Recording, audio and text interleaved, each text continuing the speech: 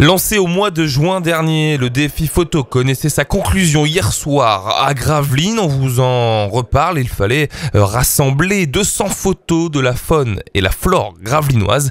L'objectif à travers ça, recenser les espèces présentes et pourquoi pas en découvrir de nouvelles. Alors, objectif atteint, Guillaume Scodet Objectif atteint pour Gravelines, objectif atteint pour le quartier de Petit-Fort-Philippe avec le défi photo 200 espèces dans mon quartier.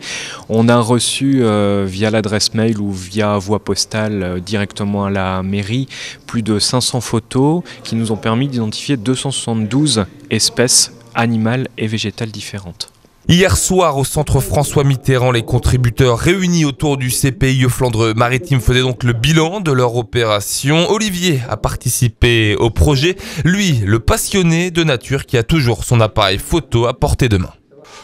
J'avais, j'avais mon appareil à ce moment-là et puis euh, j'ai pris en photo. Alors là, c'était un oiseau, c'était un faucon cresserelle qui était sur un bâtiment. Euh, euh, sur une fenêtre, euh, sur un châssis de, fenêtre, et qu'il était posé. Certainement qu'il ne me voyait pas à cause du reflet. Et donc j'ai pu m'approcher euh, pas mal de ce, faucon et le prendre en gros plan. Donc une photo quand même assez intéressante qu'on a vu lors du, reportage. Sachez que vous pouvez encore et toujours envoyer vos plus beaux clichés de la faune et de la flore gravelinoise. Pour ça, il faut se renseigner auprès du CPI Flandre Maritime de Zuidcote.